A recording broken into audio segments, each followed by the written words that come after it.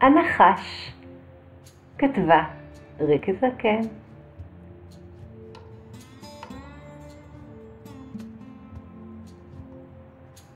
אל תציק לנחש, היזהר ממנו שבעתיים, כי יש לו לשון מחולקת לשניים.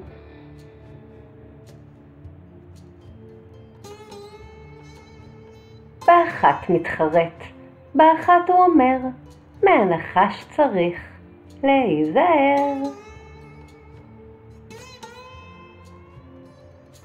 אם כועס הוא ואם לאו, נחש יקיש, אם תתקרב אליו.